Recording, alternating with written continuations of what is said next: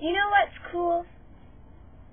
You know what's cool? The Veronica Stalk Boys in Paris. And that's kind of what I do. Or, well, used to do. And, well, still do. Well, But I don't at the same time because I stalk well, my friends and I we stalk well, not all. Sometimes you know, but she's got a boyfriend now, so she has to be all cool.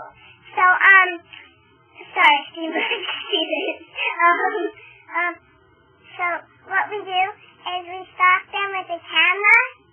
We stalk whoever we can find, really. It could be a girl, it could be a boy, it could be a dog, but it's never a dog it's at school, right? So, you know, because it